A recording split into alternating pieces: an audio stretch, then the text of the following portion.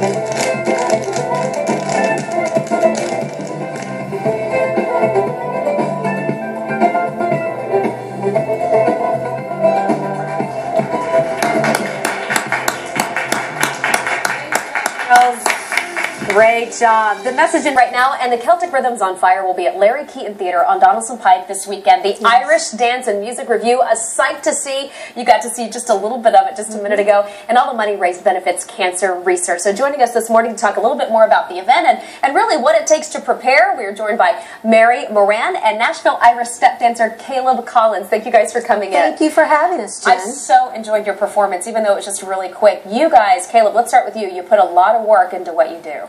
Yes. Tell much. us about how much training, how much practicing goes into this. Um, well, we go to class twice a week for mm -hmm. two hours, two and a half hours. Okay. Sometimes three days a week. Wow. And then on Saturdays for the show, we're there all day long, and yes. then on Wednesdays as well. So they're like there three, four days a week, and on Saturdays it's a long day. It's like nine until we're done. How popular uh, and how much of a following is there here in the Mid-State for, for the Irish step dance? It's growing. You know, when I mm-hmm. first moved here, um, like years ago, 25 years ago, I've been actually teaching. Next year will be my 25th year. Wow. Teaching in Nashville.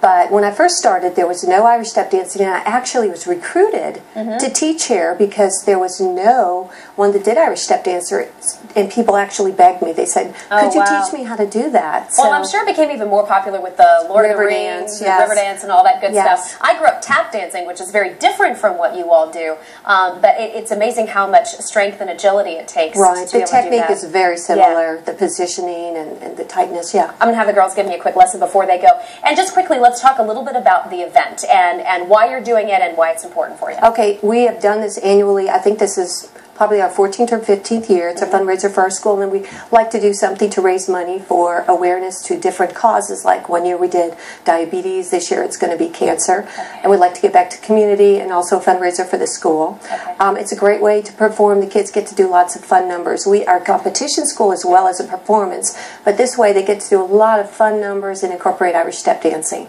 So you give them some contemporary music, and they get to use their arms and, and wear great costumes, and they want to practice and they're motivated. And it's it's just a nice balance between competition and performance. And before we give all the information to put up on the screen, Caleb, real quickly, just a, a, true story. Your mom was an Irish step dancer, which is how you got interested in this. Yes, it is. you, you, would go with her when she was going to the lessons, yes, and that's how you got And she was on one of my first national teams, adult teams. Well, it's all in the family yes. in a lot of cases. Yes. All right, I want to give you the information here. The Celtic Rhythms on Fire Irish Dance and Music Festival. This is the revue. Uh, Friday, February 28th, 7 p.m., and then also on Saturday and Sunday. $20 for adults. This is at the Larry Keeton Theater, and uh, part of the proceeds do benefit cancer research. So, Mary and Caleb, want to thank you for coming in. Thank you thank so you. much. Have a great Appreciate one. It. Good luck, okay? Thank you. Let's keep talking.